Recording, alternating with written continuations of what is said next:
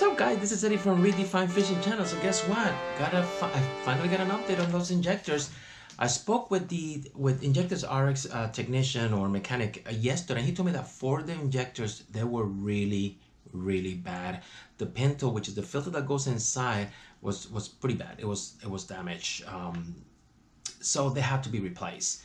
He said that you know replacing all four of those, the O-rings, and get them clean, they were gonna come out like brand new.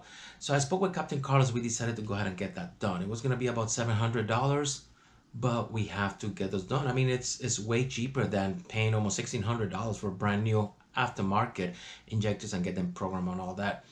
I'm hoping that we should get those by next week, Tuesday, Wednesday, maybe before that. Once we get them, we're gonna get them installed. We're gonna test the boat.